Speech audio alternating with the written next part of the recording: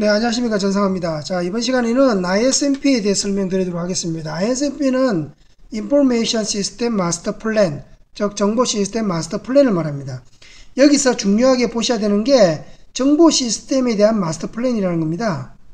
정보 시스템 이 부분이 엔터프라이즈 아키텍처와 그 다음에 ISP Information Strategy Planning이라고 하는 Strategy Planning이라고 하는 ISP와 아주 차별화되는 중요한 키워드가 되겠습니다.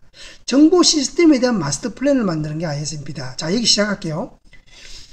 특정 소프트웨어 개발 사업에 대해서 중요한 키워드 상세 분석과 RFP 마련을 위해서 상세 분석과 RFP 마련을 위해서 기능 점수 도출이 가능한 수준까지 상세하게 요건을 정의하는 것을 ISMP로 간다. 그래서 ISMP의 최종 산출물은 RFP가 됩니다. RSMP가 끝나면 RFP를 떨고 줘서 그 RFP로 가지고 이제 발주 프로세스를 타게 되는 거죠. 그렇게 하게 되면 무슨 좋은 점이 있느냐?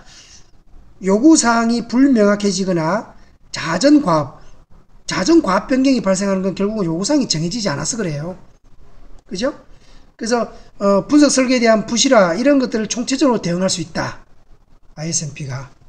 그래서 수발주 선진화와 관련된 일환으로서 ISMP가 만들어졌습니다. ISMP를 여러분들이 좀 더 명확하게 알기 위해서는 정보통신산업진흥원에서 발간한 정보시스템 마스터 플랜 방법론을 검색하셔서 다운로드 받으시면 ISMP가 좀 더 여러분에게 쉽게 와닿을 겁니다. 그리고 국내에서 발간되는 어, 서적이나 또는 어, ISMP 관련된 문서 중에서 이 문서가 가장 더 어, 설명이 잘 되어 있다. 그리고 가장 정확하게 표현되고 있다라고 보시면 되겠습니다. 그 문서 내부를 보면 어, 뭐 도입 배경이 있고요. ISP 개념 정의가 있고요. 그 다음에 참조 모델. ISP라는 것은 국내에서 쓰는 개념이기 때문에 외국의 선지 사례를 참조해서 만들었다는 거죠. 그 다음에 ISMP 방법론. ISMP 방법론은 여기 나오는 1단계부터 5단계까지가 있습니다. 그리고 아울러 어, 마스터 플랜에 대한 사업 대가 기준 수립. 그 우리가 시험에 나오면 결국 정의를 정확하게 써야 되고 두 번째 방법론에 대한 부분을 정확하게 기술하면 됩니다. 자, 첫 번째 주요 참조 모델을 볼게요. 주요 참조 모델은 우리가 ISMP를 이제 그 미래부 예산을 받아서 정보통신산업진흥원에서 ISMP를 마스터 플랜을 만들 때 설계를 할 때 참조한 모델들입니다. ISO 1207은 소프트웨어 개발 라이프 사이클에 대한 정의가 되어 있는 부분이죠. 그래서 RFP 작성 전후 단계의 관계를 참조했고요. 그 다음에 두 번째 MBT 방법론. 두 번째 MBT 방법론. MBT 방법론은 미국 내무부 DOI라고 그러는 미국 내무부에서 개발했고 다섯 개의 파스와 17개의 단계로 구성되어 있다. 자, 이런, 이런 수치적인 것에 여러분 눈길이 좀 가야 돼요. 답안 쓰실 때 이런 수치적인 것을 명확하게 명시해주면 고득점에 도움이 됩니다. 어, MBT 방법론에서는 객체지향 중심의 비즈니스 및 기술적 요구사항 분석을 참조했고요. 그 다음에 FASM 방법은 FASM 방법은 아 FASM이 아니고요. FSAM 방법론입니다. 왜냐면 FSAWG working group에서 만든 방법론이에요. 이거는 오타가 났네요. 그래서 FSAM 방법론, FSAM 방법론을 쓰게 되면 쓰게 되면 어, 업무 라인의 미션 및 전략 정의를 다섯 단계로 구성되어 있고 그 다음에 시스템 요구사항을 도출하여 To-Be Architecture를 수립하기 위해서 어, 개발되었습니다. 그 다음에 신기획 프로세스나 이거는 이제 어, 수발적 선진화법에 의한 신기획 프로세스 그 다음에 IFPG의 CPM 기능 점수 도출 및 요구사항 상세 기준을 참고하기 위해서 IFPG CPM을 어, 참고했다고 보시면 되겠습니다. 그리고 어, ISP 방법론에 대해서 설명을 드리면 자, 뭐 하나면이 잘안 나오는데요. ISP 방법론은 어, 또는 수행 프레임워크라고도 표현합니다. 시험에 방법론 또는 수행 프레임워크가 나오면 네, 이걸 기술하시면 되겠습니다. 지금 화- 화면에 보이는 이 전체입니다. 5단계로 이루어져 있죠.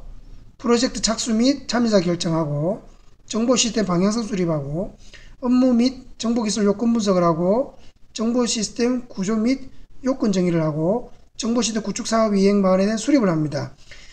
참여자 결정할 때는 이제 조직과 관련된 문제가 나오고 그 다음에 계획 수립이 나오죠. 그 다음에 정보 시스템 방향성 수립할 때는 정보와 전략 검토나 벤치마킹 같은 결국 정보 시스템에 한정돼서 계획을 수립하는 겁니다. 업무 및 정보 기술 요건 분석은 어, 상세한 이제 요건 분석을 해야 되죠. 그 다음에 정보 시스템 구조 및 요건 정의, architect 정의라고 그 다음에 요건 기술서를 작성하게 되고 구축 사업 이행 방안 수립의 최종 끝단에는 RFP가 나온다고 했죠. 예산 수립이나 RFP 같은 게 나온다. 이렇게 컨트레스 이해를 좀 해주시면 되겠습니다. 끝으로 끝으로 이제 ISMP와 ISP와 EA를 비교를 해보면 좀 더 명확하게 구분이 될 겁니다. ISP는 뭐라고 그랬죠? 특정 정보 시스템, 특정 정보 시스템. ISP는 ISP는 정보와 전략과 관계된 겁니다. 그러니까 당연히 비즈니스적인 측면이 좀 들어갈 수밖에 없죠. 그렇지만 정보 기술이 좀 더 오리엔트되어 있다. 그 대신에 EA는 EA는 비즈니스 측면인 비즈니스 측면이 좀 더 강화됐습니다. 정보 기술보다는. 그 다음에 ISMP 범위는 단위 프로젝트입니다. ISP는 전사 서비스 또는 부서. 사실 ISP와 EA는 크게 보면 그 범위는 큰 차이가 없어요. 다만 어, EA보다는 ISP가 좀 더 범위가 좁다. 그러니까 부서 단위로 할 수 있다. 그렇지만 EA는 무조건 전사다. 이런 개념으로 가져가시면 되겠고. 그래서 뭐 주요 활동들도 지금 보시는 것처럼 차이가 있을 수밖에 없죠. ISMP는 정보 시스템 구축에 대한 부분만 방향을 수립하면 되고, ISP는 기업의 전략에 맞는 정보 기술, 정보 시스템을 도입하는 곳에 초점이 맞춰져 있고, EA는 어, 어디까지나 어, 기업의 기업의 어떤 전략과 기업 비즈니스 쪽의 측면에 강합니다. 거기에 이제 어, 우리 ITA가 조금 더 부과되는 이런 느낌으로 이해를 해주시면 되겠습니다. 그래서 주요 산출물 보니까 주요 산출물 보니까 ISMP는 RFP 제가 몇 번 강조했죠. 이 키워드 꼭 들어가야 돼요. RFP가 어, 최종 산출물 중에 중요한 산출물이고요. 그 다음에 ISMP, 아, 저 ISP는 ISP는 지금 보시면 IT 비전 및 전략이나 이행 과제 및 로드맵 이런 것들이 이제 ISP 최종 산출물이 되는 거죠. 그 다음에 EA는 EA는 목표 아키텍처 이행이나 전사 아키텍처 그 다음에 그게 이제 업무와 데이터 기술 응용 보완이 어떻게 이루어져 있는지 하는 어, 이 부분까지가 다 구현이 돼야 됩니다. 자 여기까지 해서 ISMP에 대한 설명을 마치도록 하겠습니다.